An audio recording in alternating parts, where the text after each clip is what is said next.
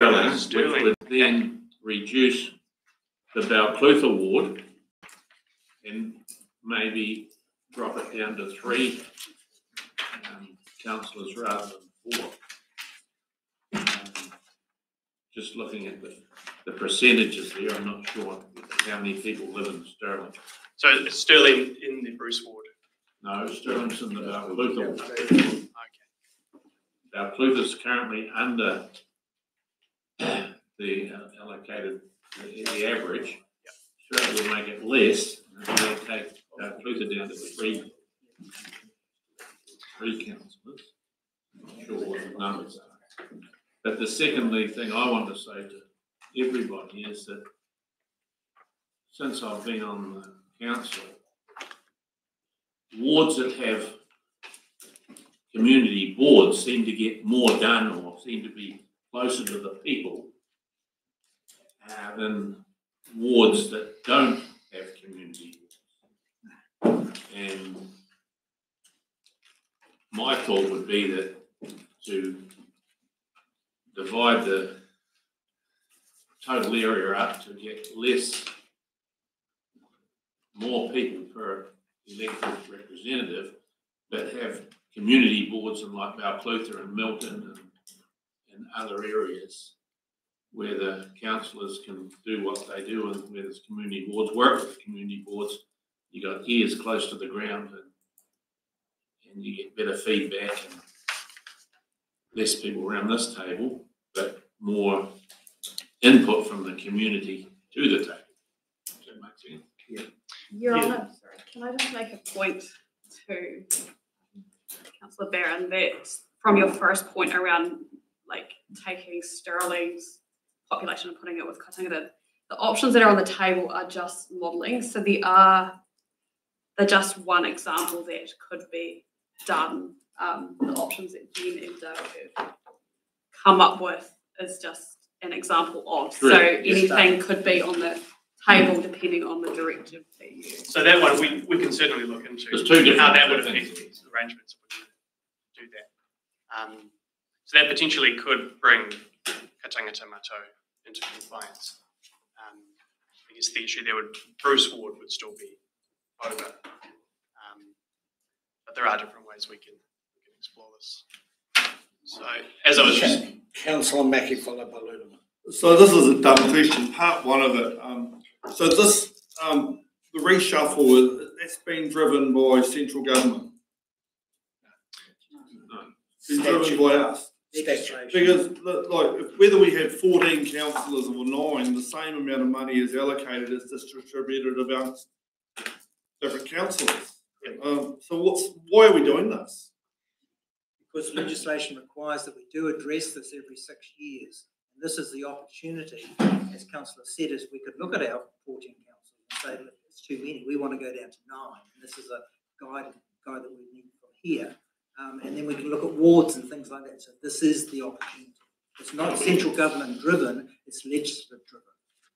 Look, we've got a community board in Clinton that we've just got going again, but it's not officially recognised as, you know, so it's not costing the ratepayer anything, it's just us, you know, we give our time up and we're doing some stuff, you know, like community boards that are in, um, over Tapanui, they work really well, they do. You know, for, and, and I agree, perhaps a community board involved, say, probably in Milton, um, we could have had a few less discussions lately, so, um, yeah, going forward, you know, every wee community wants to be represented, to go and, to go and say to a community all of a sudden, oh, sorry, but you're, you losing your representative. Um, they're not gonna like that, are they? I actually find that bring going around the district, uh, Kai Promotions, we're wholly looking forward to Wacker. It- A lot of the groups are the go-to, and when it comes time for annual plan or they come to talk to us, the credence that we hold the go-to group, I wouldn't make any difference in credence of group between Waihola Looking Forward and the Lawrence Community Board. They're both the community's champions that we, we trust. But at the moment, there's only been two groups that have, two, two areas that have said they wanted it. And the other towns have found them, it's mainly the personalities and the people involved. like Waihola, go through to Waihola, they're a ruthlessly efficient and positive group. And horses for courses, I suppose, isn't it? And just I'm- remember also, Your Worship, that we, we almost didn't have a community board in Lawrence. No. Couldn't get the, the people putting their hands up to be elected. Mm. Uh, we had to do by-elections, didn't we? So I go councillor Ludeman, councillor Finch, councillor Mackey. Uh, no, councillor, you've got a different name. Catherine. Okay, for my part, I personally wouldn't be in favour of any more community boards because I think we've got all the community groups in, right across the district, KP, Waihola, just like Brian said, they're everywhere. Community groups doing the go-to that you, you can do. I mean, even in, yeah, so I'm not in favour of that. Um, but definitely, but I mean, obviously, that's part of the consultation question. But I would definitely be in favour of, as a consultation question, asking a different option of a makeup of council. So, um, because I, I, I don't know that we've really given the community that option. We've always kind of made the decision round the table here that no, we're going to stick with the fourteen. Well, why don't we go and ask the community what they want? We've never done that. We've, we've actually made that call here without going to, to consult on that one. So, um, give the community a chance to. And as, as to what option you would go to, I'm not sure, but, but we are high on numbers around the table at fourteen, whether you went to eleven or nine, I mean, that's, that's, that's a discussion point, but you, but fourteen is a lot. So councillor Finch followed myself. Thank you. I was going to say much the same because in um, we also have the um, Project Bruce and everything it does. So it's very like a community board. And then Waihola Tari Mouth. So we already have three great, great groups to cover our whole area. Um, as for the representation numbers, I think we all bring something different from different communities and different um, ways of dealing with things. And over the years, I've seen how it is really quite good to have that amount of people representing because of those very, very reasons. We're all completely different. We're all unique, and we do bring in different ones. And you find through the community, there's some people that'll go and ring this councillor and they won't ring that one. It's just the way of people and their nature. I would not like to see I Milton change. That's just my point of view, not, not preempting, not making, um, for when we come to vote or anything. But I know what a lot of people out there would say. So uh, South, councillor Herbert, councillor Payne. So possibly I said that we we're looking at. Ooh, you were ahead of me. Councillor Catherwood, followed by South Herbert Thank you, Your Worship. Um, hey, just, just a quick question, is pretty much the mesh blocks. How, can you explain how they, they're actually determined? Yeah, we, we get these from Stats NZ. So every year, um, they review the mesh blocks and provide us with A, the shapes of the updated, updated mesh blocks, where the boundaries are, and the estimated re- re- uh, resident population of those mesh blocks. This block's the smallest. So this sounds a little weird, lines, eh? Yeah. The smallest area that you can go down to, and they basically uh, have an average population. So if a population gets too big, that in a mesh block, they will split the mesh block and create two. So that's the like that. We don't have to go down to mesh block level.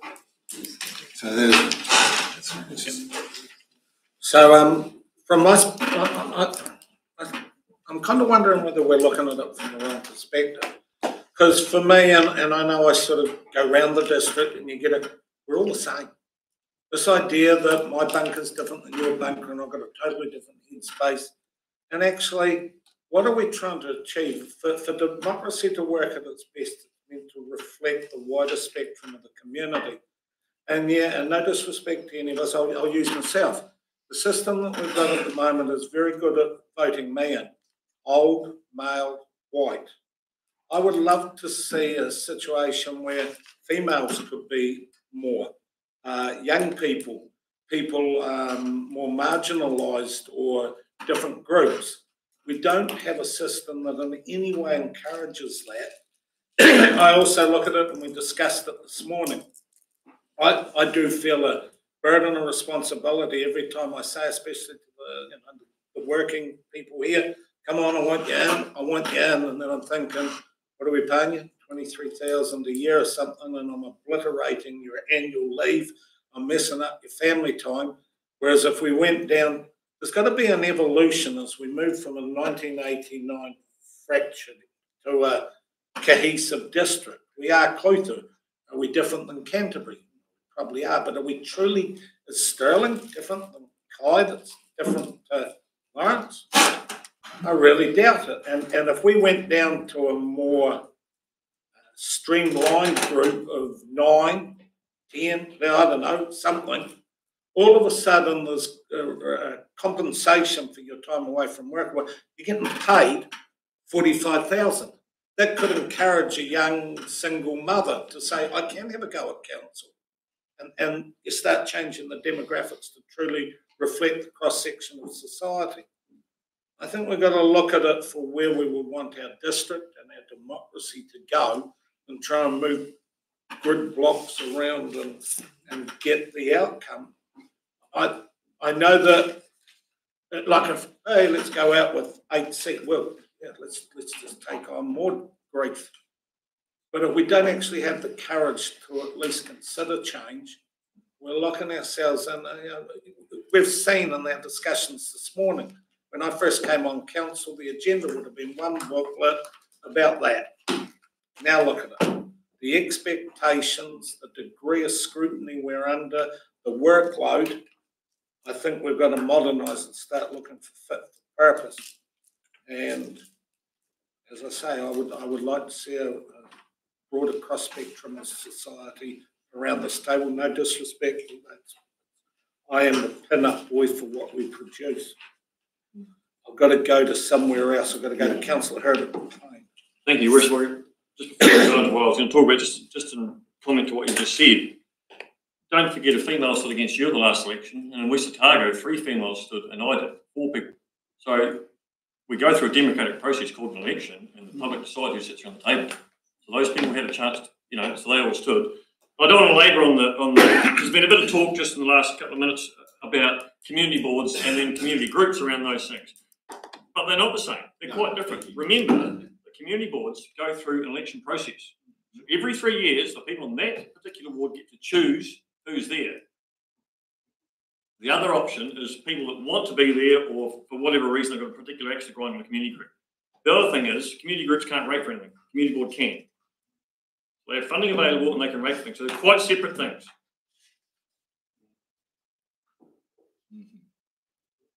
Councillor Uh, Payne. Thank you, councillor Herbert. Ditto. Yep, um, councillor Cathcart. Just a quick one for you, Dale. I suppose it's- it would be, um, what would be the, what would be the minimum amount of representation for, for the size of our population with district Five. in total would be the min, would be the. Have between five and twenty-nine. The law says. All those in favour? And then, so, so then five to the, the funding, the, Remuneration and stuff. Three times your wage. Yeah. is, is, uh, that's, doesn't matter, It's the same whether Doesn't you've matter what five the or figure 15. is. Yep. how do they come up with that figure? So re- Remuneration authority has some sort of formulas and research. I don't know, they just come up with the figure for local government as they do for parliament and.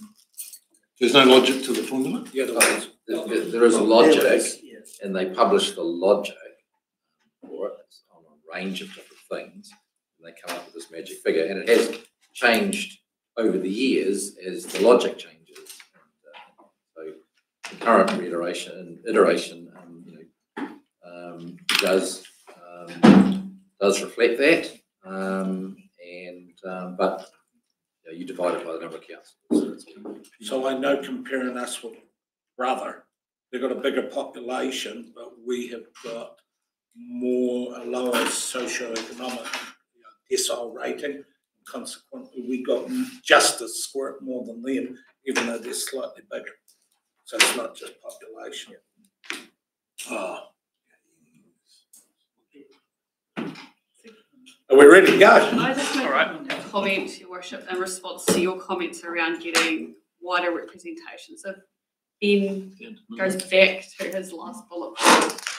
Part of the consideration in the preliminary process is to look at potentially if there is that appetite for a mixed model Nothing. um, approach. So you can elect wards, but then you can have at large, but elect Ben. Yeah, in- in that example, you could have wards across the district and councillors elected from specific wards. And in addition, you could have some councillors elected at large across the whole district. Um, It's an option that some six councils across the country opted to use. Uh, It's, it's there and it can be explored. A good example is Kapiti Coast District Council that has ten councillors, seven elected from wards and three elected at large. So Councillor Payne. And, and- and the, the risk is that the three at large could come from the same district. correct, But that doesn't often happen though, because it's often been said, well, the biggest town would dominate. But you exhaust your votes when you get your one person in and then, then it doesn't, numerically, it doesn't actually work out that the biggest town gets three and it Swansea. can. It can. Councillor Grant. So, so on that one, the ones at large come from the populated area or? No, they can, they can, they are Yeah. voted in by the So why, whole, why would you have some in wards and then some at large then? it's just what particular councils prefer, they think is better, they ha- think that the at-large councillors have a district-wide view rather than, more so than a ward councillor who may have a more ward-focused view. And it was often seen as a stepping stone. It was one step too far just to go down to at large, fifty cent mixture. Just can't see the thinking behind it. Well, a- anyway, so um, I won't dwell too much on some of these options, but we did look into the possibility of moving some mesh blocks from Bruce to Tangata Matou. Um, these are the green ones here within that thick red line um, as part of the Bruce ward. Now, whether or not those five mesh blocks make sense to move into the Kaitangata Matau um, ward, something that we'll be looking to you and to the community feedback to understand if that is actually suitable. Um, this option here doesn't address the non-compliance in West Otago. Uh, it is still slightly underpopulated, um, but there are different ways to make it compliant. Any one of those mesh blocks in the Clinton ward, uh, just south of West Otago, could potentially be moved into West Otago if um, if any one or more of them were appropriate. Um, there are other ways to do it, so yeah. Other option, which Dale mentioned earlier, which was to simply combine these two non-compliant wards um, on the eastern part of the district. Um, it's another case of you're the elect- elected members and you know the district, so we want to hear from you whether or not this is an appropriate option. Um, it might might not be at all. I suppose that's one way that Toko get a decent rugby side. If we had to go to this ideology, would it be fair to say that instead of going Milton, Kaitangata, that it would be the Kaitangata Stirling Kaka Point? We've already got that circle of rating interest, of Alcota Stirling Kaka Point, Kaitangata. Would that be a more, because I was thinking what you said, that you shop and gather, well, a person from Kaitangata goes to South Otago High School, whereas a person from like Waihola doesn't. Um, they shop in Balclutha, they shop in, well, Waihola might shop in Mosgiel, I don't know, but if we, on the, on the criteria, probably a better gridding or gathering would be Kai, Stirling, Balclutha, Kaka Don't. Bruce? Yeah, that doesn't address uh, Bruce Ward one, does it? No. And I tend to think that probably the Kai Bruce Ward is far more compatible than trying to integrate Kai with any part of Balclutha. Why would you say that? Just choosing. That's just your opinion. Uh, wanted, to point out here that, um, there were some other options that were researched at the last review. Um, three or four of them, only one made it to the initial proposal, but I just stick up here a couple of the other options for a point of comparison. Um, this option here would have had nine councillors from three wards, one from that little Milton ward, uh, two from the Balclutha ward, and the rest six elected from across the whole district, the giant green rural ward. Uh, this option didn't go anywhere beyond uh, being researched, but I wanted to bring it up just for a point of comparison. Can we just dwell on that? When I actually look at that, does a, does a rural person in Harriet think different than a rural person in Bruce or, you know, maybe there's some, no, but you know what I mean, John, is the more, is that actually the next step forward that we could take? But you could potentially, hold on, a minute, you could potentially get no representation in West Otago, and all six people this side of Blue Mountains. And I don't want that, they don't want that, and I don't think people at the table want that. That could potentially happen though. Uh, councillor Martin. Through you, Chair, um, I'll refer back to the good work that the Clutha Development Board have done with the social research and evaluation document. I'm sure you would have read it since I last brought up about it. And it just highlights in here, every community is different. Look at the, our community plans. We've got that too. Everyone is specifically different. I Don't know where you get the assumption by having less is more, where it comes from, because every one of those wards up there is completely different. And have a good read of this document, it tells you some of the issues that is going on in the Clutha district. Not just isolated to each ward, but the district as a whole. We have some problems. And I think we need to be listening to the people out there. I'll leave it on top of my desk here in case someone wants to have a wee read. It's all highlighted what's wrong. So would you say there's nuances or differences? Differences. Bruce? Everyone's got different cultural values. Is, is that the document that doesn't include Kai? Yes. Isn't it?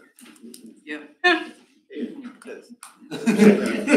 Sixty pages or whatever, um, doesn't include the third largest township in the district, which is ironic. But, Lawrence, but it doesn't include it, doesn't mention it. So, don't put much weight on it. Yeah, we, we should. Have a read of it, you should read it, you'll know. yeah. I, I just think that once every six years, we've got the- an opportunity to put the rigor to consider every single option. That's what we're doing here today. So we've got to put the squeeze on somewhere. And if all we can do is go back to the status quo, I put it to you, John, you just said that there are some issues. You don't get change without making changes. That's right. But you've gotta listen to the people to recognise the issues. Right, another option um, that was proposed last time and, and didn't go anywhere was to have nine councillors from four wards. Um, here they are up on the screen. We haven't looked into whether or not this or the previous um, arrangements would be compliant. Can if you'd like us to. Um, another thing I want to mention here is that this is only nine ward councillors, so there is the option to include one or more councillors elected at large in addition. you Could have one, two, three, or four, or five. Um, it wouldn't affect the, not the, their representation rule. Um, so this is just one of the other options that was looked into last time, uh, but ultimately was not part of the initial proposal. Um, with that, Dale wanted to, oh, I'll carry on. Um, community boards, so the review, as we've said, must consider um, whether community boards are retained, modified, established or disestablished, um, how many there are, what the boundaries are, how many members are elected uh, for each community board. And it was mentioned in the, in the determination from the local government commission, because there was one appeal, one appeal. Um, and the, the commission did explain that council should at the next review further consider the place of community boards in the district. Is it appropriate that they only cover two parts of the district or should there be community boards covering the whole the district. So what are the other options uh, in mind? Is there anything else in the room that you'd like us to look into? So you said they're covering the rest of the district, but couldn't we get one more community board and if, if the community of whatever wanted it, so it's not the whole. yeah. So what's, what's the thoughts, team? What are we rolling the dice on? I mean, we're not asking you for um, a preference at this point because we're yet to go out for the, um, the pre-consultation engagement. Ah, yes. that- Right, so, so, um, that's important to remember. What would you like to ask us around? Councillor uh, Simon and then John. Yeah, um, yeah, through your worship, could you possibly look at a, a- another option? Chopping up the wards again, maybe to work nine or ten councillors, so keeping them still quite regional. Maybe just having nine or ten councillors, Or how many wards, the same number, eight? not necessarily. Ah, Oh, well, I'm not, I'm not sure, yeah. okay. So Well, just a few more than the, um, than the four wards, yeah. Yeah, Just- Yeah, So this option here was four councillors from a lower Clutha ward and then two from a northern ward, uh, one from West Otago and one from a southern ward. Not far away. but, the- the- yeah, there's all, it may still be the best option, but it could possibly still, could still tweak that maybe to have five, six wards. Five or six, Three wards, I don't know, just, just give us an idea what it might look like. yeah. Yeah, the blue ward can get split in half and have one council and two councils. got the same Yeah, outcome. just a few. Yeah. Anyone else got something? John? just, uh, whatever we go out with, I think needs to be really well explained. That just if you go to less councils, doesn't mean it's gonna cost less to fund the the council. Because if, if the current environment we live in, people are, you know, slashing everything and burning everything, if you like. Uh, if they think we're gonna go from fourteen to nine, we're gonna save, you know, X percent of our rates on civic, that's not the case. It needs to be clearly explained, but it's gonna cost the same, just divide it up. And we also clearly need to state the community boards. the community Are only funded by the, state commu- the community. That's quite a.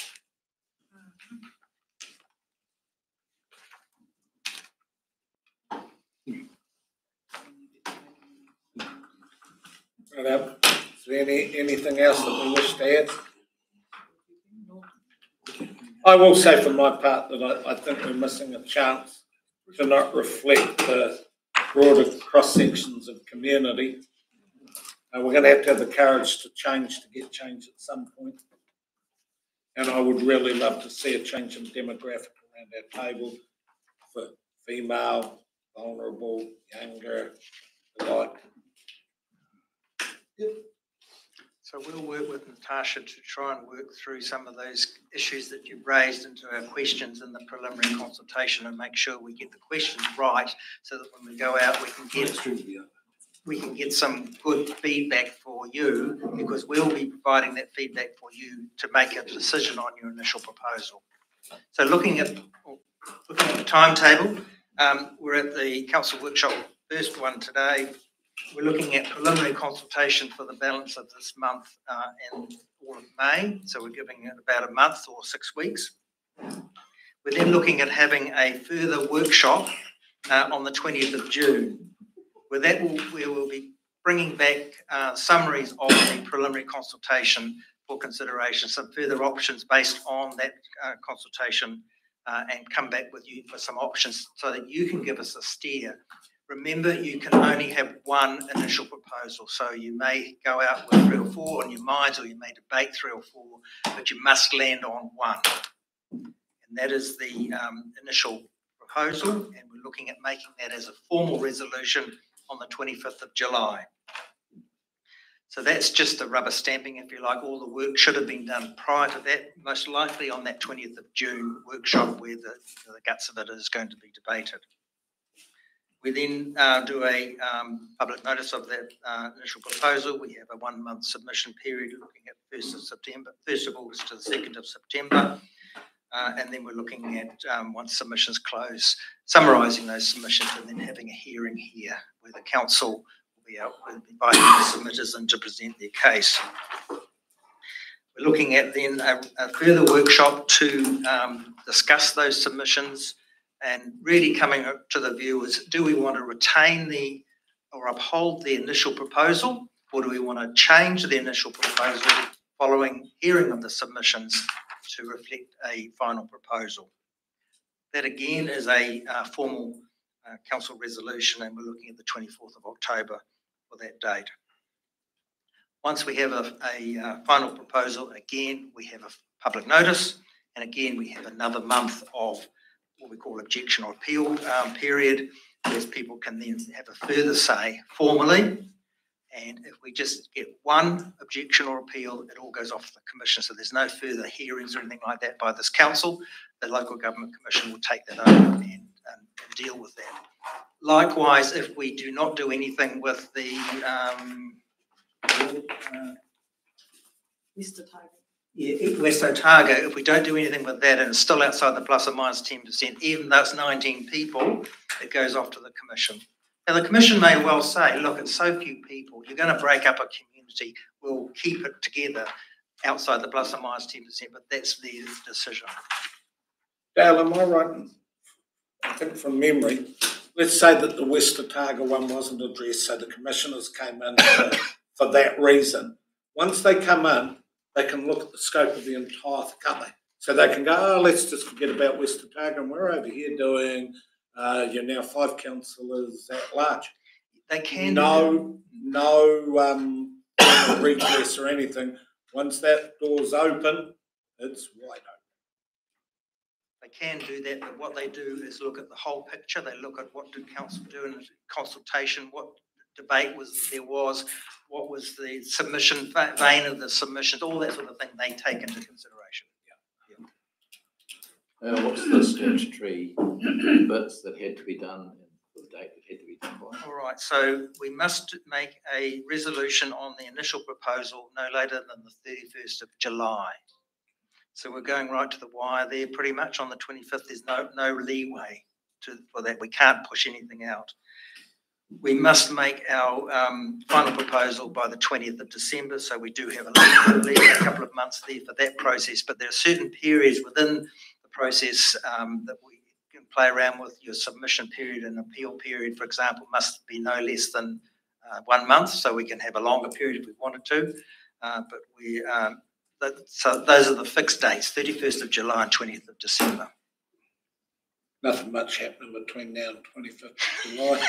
Kenny? Thank you, your worship. So I'm just, I'm sitting here thinking, does, does the legislation ever get looked at? Because I'm thinking, uh, from where I sit, it's, uh, a line in the sand doesn't stop anybody from ringing me up. It's, it's the person they know. They ring me if they're in West Otago, Kaitangata, Melbourne, wherever. And I'm just wondering how often the legislation actually gets a bit of a review, and if it ever does.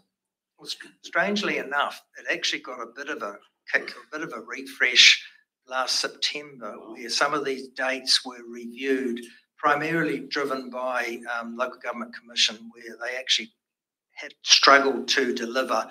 They have, under legislation, have to uh, have the, all determinations finalised by the 10th of April next year, prior to the elections. And what they've asked for and received in, in legislative change last year is to bring all the dates forward by a month. So previously, we had the thirty-first of August to have our initial proposal. Now that's the thirty-first of July. And they've pulled everything back a month, really to give them a bit more time. But, um, yeah, it's still achievable what has been, um, Okay, anything else? Back to you, Dale. Okay, last slide. Um, next step, I mean, confirm a plan for informal preliminary engagement. I think that's still a work in progress. Uh, I think you probably agree that we need to just finalise a few more questions and get those right before it goes out to make sure we're asking the right questions. Um, we then undertake that informal preliminary engagement.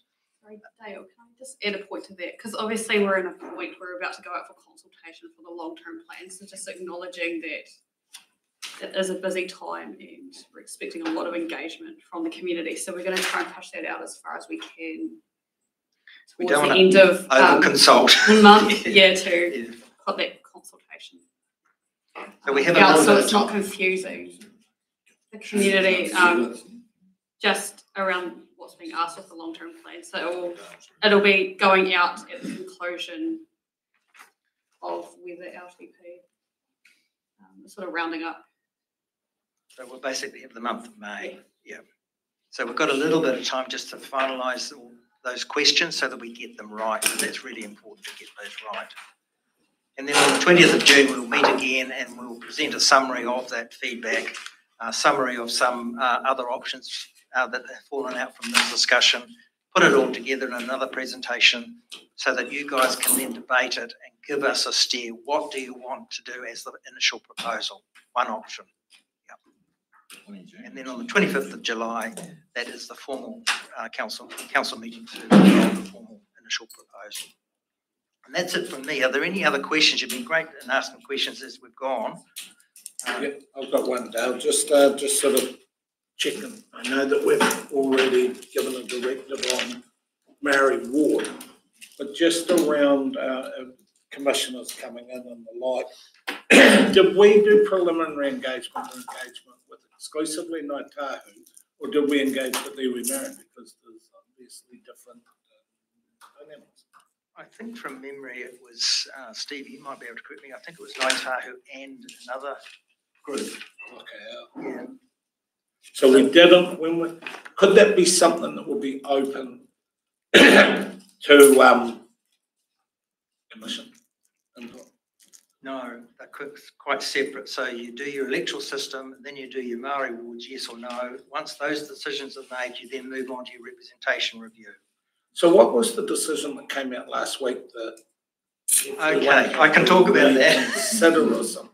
I can talk about that. So it's the local electoral Maori wards and constituency bill. It's a a coalition government policy. And basically, for those councils that have established Maori wards or constituencies, uh, under the proposed bill, they can either resolve to disestablish Maori wards in August, so the bill won't become operative until the end of July, so they can choose to disestablish those. Or if you have Maori wards or constituencies and you do not want to disestablish them, then you must hold a poll with the local body elections next year. So any establishment of Maori wards going forward must be as a result of a public poll. That's, so, Doesn't impact on us. no, it doesn't impact on us, but it will impact on our nation. You know, Yes. To me, it's despicable. So the, so a, a non-Maori could, uh, could, hold on, no, you don't even get your five percent. Yes, Basically, at large, everyone votes. If it's fifty-one percent against it, that's it, the it's gone, yeah. state of So the poll provisions are being reinstated. They were removed in twenty twenty-one. They are being reinstated where five percent of electors can demand a poll be held from the council, and that will be from twenty twenty-five. So those provisions are being reinstated. There's also some slight um, tweaking to the election timetable, um, which you may be interested in. Basically, we're uh, extending the voting period by another ten days. So there's two timetable changes, and that's really to compensate the uh, New Zealand Post issue, um, where the polling, where the voting period is going to go from 22 and a half days to 32 and a half days. And we're also extending the uh, delivery period for, for voting packs uh, from six days to 14 days, simply because they can't be delivered now within six days. So there are two fundamental changes to that timetable, just for your interest. Okay, interesting, um, um, councillor Kennedy. Uh, when we, um, shift the blocks, which I know we've done before, do people get, because we, we're from the deep south, you, you, protect your area and that's, sorry, when you, you know, then they turn around do a name change or you shift them from, say, which has happened, from one area to the next. And then sometimes that area is rated different because of something else that's going on in that area, so now they've got to pick that up. Do we get the pushback from people? Yes, we do. Um, it- it does they co- get, because they don't get a choice, do they? Well, it, it, well, yes, they do, because it comes back to your education, your public communications and that sort of thing, that these are the reasons why we're changing things. And this is the process going forward. So here's what we are proposing. You have a submission period, so you can make submissions on this. If you don't like it, tell us. Okay, and the council, we have a hearings process, so the councillors can hear, and then they can either take account of that submission or they don't. Right, so it still comes down to this table then. Comes round to this table, yeah. Okay, Tina, we've exhausted questions. Can I just, sorry, can I just, sorry, add to that, which was, what you're trying to look at is what would be the least impact in terms of options to the community. So one option we did look at, which we didn't table, was moving the mesh blocks. I, um, I understand. Lawrence-Tuapeka, it, but like it's less, like there's less changes Less if you're changing two boundaries. So there's less like impact on, you're looking at what's the impact on the people that you're moving. You can do the whole thing, you can, you can take away all internal boundaries and clean slate and say, okay, we're gonna start again, we're gonna start afresh. So that's one extreme. The other extreme is that we can simply just nudge, uh. All right, we'll always be West Otago, even when they chuck us in the south.